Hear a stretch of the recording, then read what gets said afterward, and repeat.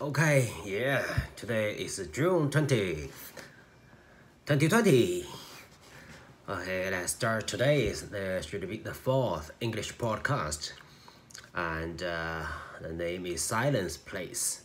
Okay, and I think so. Let's uh, preview or go over. Winter go over previous, previous one. Previous one is talk about name you know something the first one is around here. So i live around here and uh, I'll, i live just around i live right around the corner you know your school my school is uh, just right around the corner okay?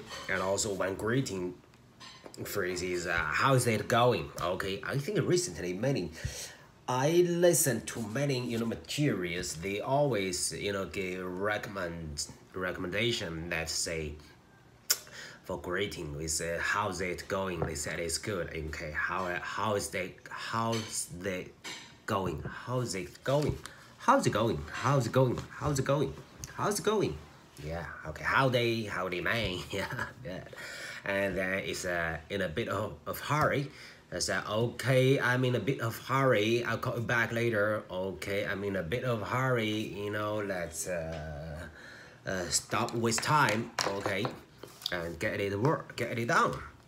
Get the work done in a in a bit of hurry, or we can say in a in a hurry. You know, that's no problem. I think, and uh, contact details. Contact details. That means uh, a some you know just like telephone number or address or something like uh, you know informations you know contact information you know contact details details you know. Uh, slip my mind i think this is very important you know forgot something you know forgot something.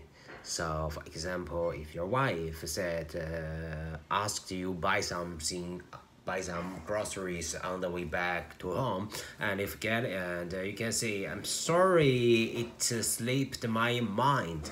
Sorry it slipped my mind you know so you forget it. And the last one terrible is it means you're bad at something and you're not good at something you're bad you're terrible with sorry i'm terrible with uh, uh, english writing i'm terrible with mathematics i'm terrible with uh, you know physics i'm terrible with chemics or whatever the things you know you know terrible is okay?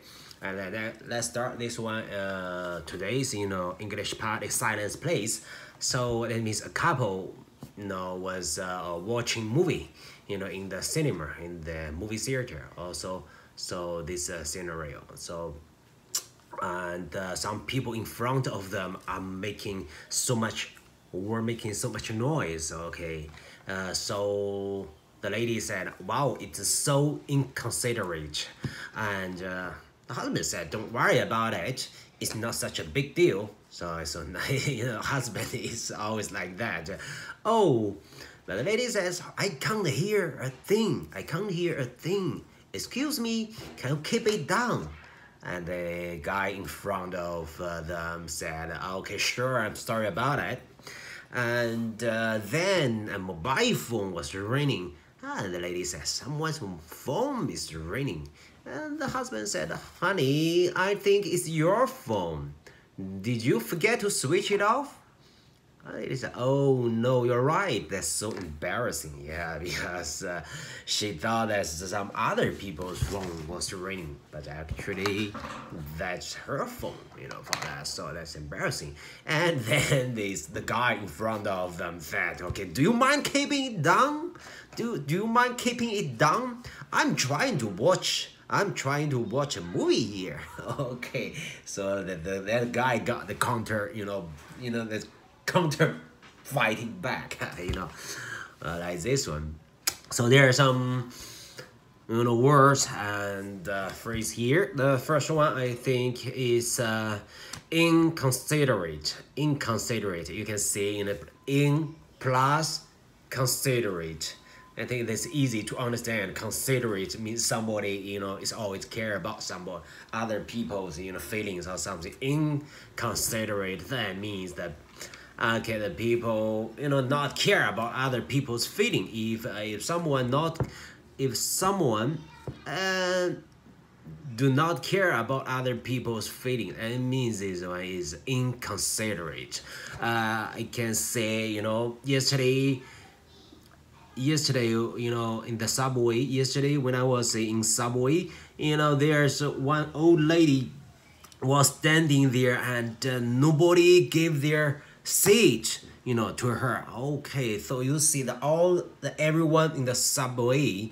you know was uh, inconsiderate that was inconsiderate you know for that so not care about you know other people's feeling inconsiderate so just like say in the movie theater that the guy the guy who who in front of them you know make too much noise you know much very noisy. So that is inconsiderate you know that is inconsiderate.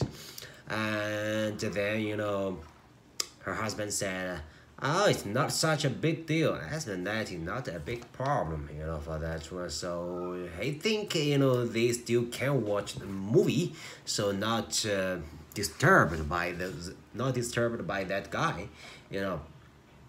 But uh, the lady is not agreed you know not agreed with uh, his husband you know. He said you know so it's not it's not such a big deal or sometimes also it's not a big deal you know i think many people but here they said it's not such a big deal okay they said it's not such a big deal don't be dramatic it's not don't be dramatic I think that's good. Don't be dramatic. It's not such a big deal, you know. For that one, we can manage it. It's not such not a such big deal. It's not such a big deal. Or if, uh, uh, for example, you are going to attend a meeting, but uh, maybe because of because you know traffic because because of the traffic you may late so you call the office said sorry uh, I'm, I'm going to be late for maybe 10 minutes or something and then maybe they said okay it's not such a big deal. The boss will late for 20 minutes will be late for 20 minutes. Don't worry take your time okay? So it's not such a big deal.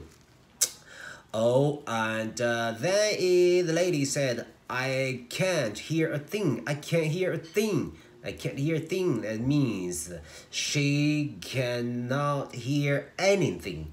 Uh, he can't hear nothing, you know. So I can't hear, so I can't hear a thing.